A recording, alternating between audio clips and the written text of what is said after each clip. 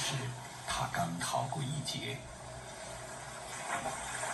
发情的雄海豚为了交配会攻击幼崽，是母亲保护了它。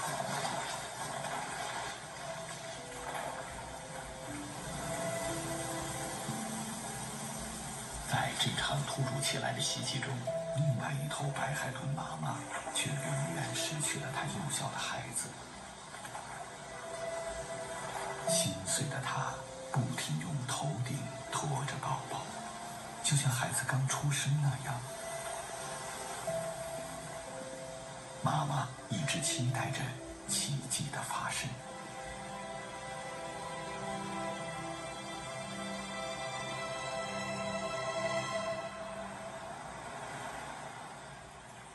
曾经，这片大海上充满了孩子的欢笑声。他与孩子一起穿梭于碧波之间，享受着大自然的恩赐。然而，命运却是如此无情。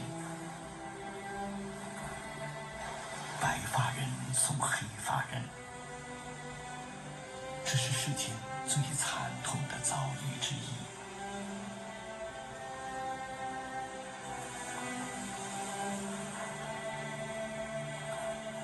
中华白海豚和人类一样，十月怀胎，一朝分娩。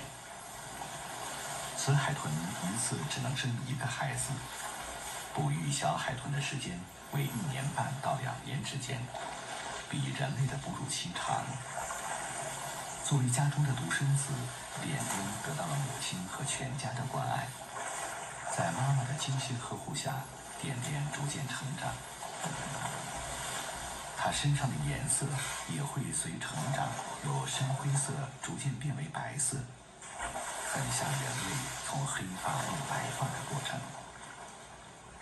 当它在海中和伙伴追逐嬉戏的时候，身上的血管就会充血，从而变为粉红色。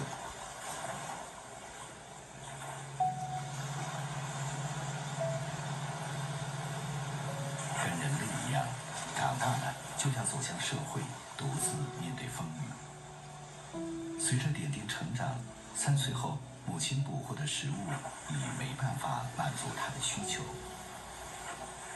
是时候让孩子去自谋生路了。离家之前，点点必须变得足够强壮，需要学会更高难度的技巧。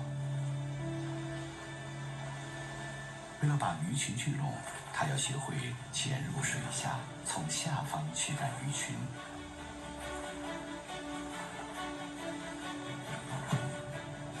与水面上的伙伴配合，把鱼群围拢在一起。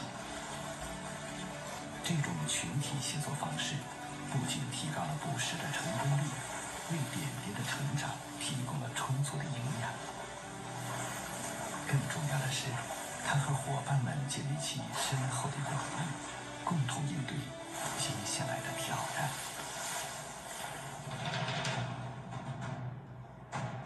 二零二。